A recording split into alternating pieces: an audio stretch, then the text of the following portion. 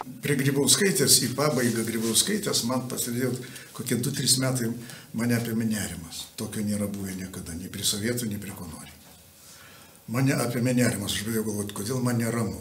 Aš gyvenu vienas dabar senokai ir man neramu, objektyviai.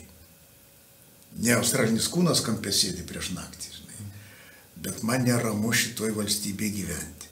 Paskui pradėjau galvoti, gal čia tas begalinis gazdinimas, rusai eina, dar kažkaip, ne, nežinau, Grybauskaitės paskutiniai treji metai man buvo nerimas, dabar jis dingo.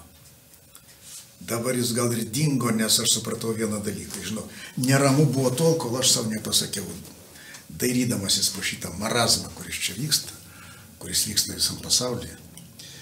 Pasakiau, žinai, seniai, visi šitas, visos šitas, visi šitie lozungai, visi šitie vaikų grobimai, šitos lygios teisės, šitą kalantai, visą tą ideologiją, kurie eina per šitos kažkokius liberalus, neliberalus, visi tie vaikų grobimai, visi šitie dvigi, tai aš tau pasakiau, aš savo šitai pasakiau. Vienintelis būdas išlikti taip, atgauti ramybę, nesipiktinti tom gėjų eitynėm ar ten kokiais velniais ten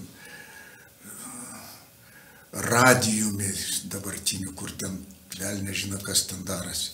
Yra istorinis požiūris, požiūris į viską. Tik istorinis požiūris. Tada supranti, palauk, nebijok tu tų musulmonų Europoje, ne pirmas ir ne paskutinis kartas. Nebijok tu ten šito, nes taip jau buvo. Ir o tada nusiraminau. Jūs suprantate, vat vienintelis, vienintelė sąlyga ramybėje pasiekti yra istorinis požiūris į viską, kas dedasi. Meną, valstybę, į, į viską. Ir tada pamatai, palauk, tai nieko naujo. Ir žinot, nusiraminau.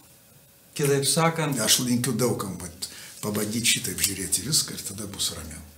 Tai nereiškia, kad nusiraminsi ir kad susitaikysi. Nu, bet, bet bergžiai nebekonkuliuosi.